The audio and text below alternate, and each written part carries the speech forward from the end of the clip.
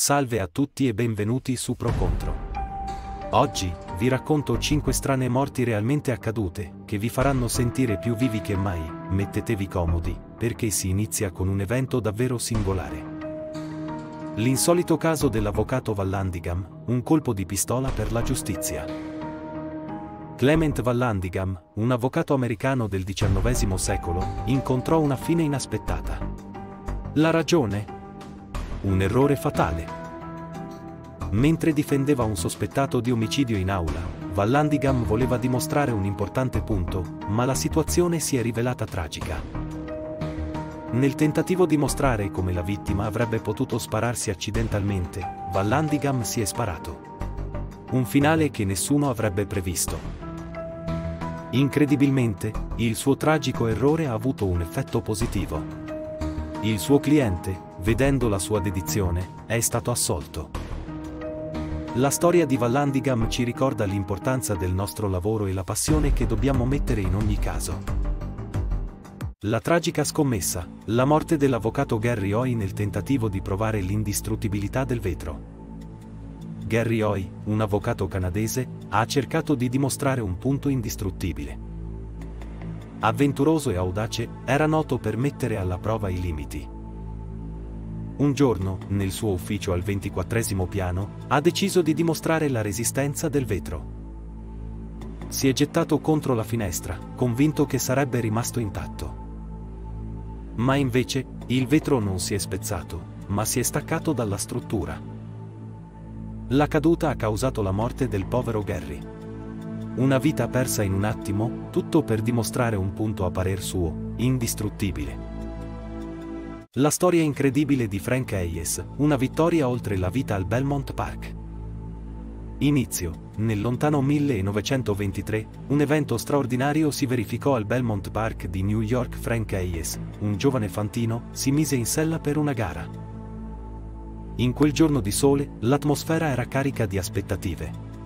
I tifosi erano accorsi in massa, pronti a scommettere sul cavallo preferito. Frank Hayes, nonostante non fosse il favorito, galoppava con determinazione. Il suo cavallo era un outsider, ma entrambi erano decisi a dimostrare il contrario. A metà gara, un dramma silenzioso si consumò. Frank Hayes subì un attacco cardiaco. Ma il suo corpo rimase in sella, in un equilibrio precario. Il cavallo continuò la sua corsa, indomito, sospinto dalla folla e dall'adrenalina della gara. La morte del suo fantino era un segreto che solo lui conosceva. Alla fine, contro ogni aspettativa, il cavallo di Hayes superò la linea del traguardo. Aveva vinto, con un margine sorprendente, a dispetto delle quote di 20 a 1. La storia di Frank Hayes è un tributo alla determinazione e al coraggio. Una vittoria ottenuta in modo tragico, ma mai dimenticata. Un tragico destino. Nel 1980, Monica Mayer, sindaco di Betterton, perse la vita in un incidente nelle fogne della città.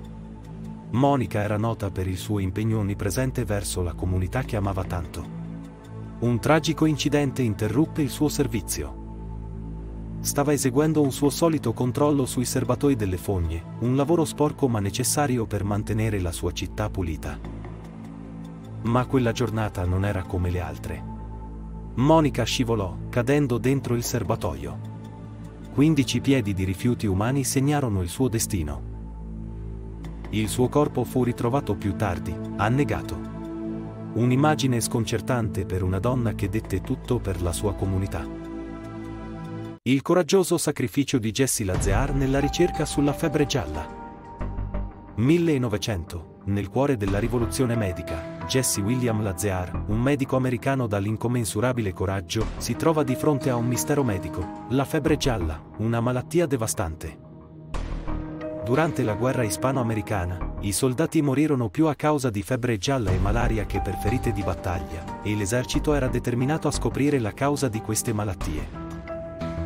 Lazear ebbe un'intuizione, sospettò che la febbre gialla fosse trasmessa dalle zanzare. Ma questa teoria richiedeva una prova definitiva.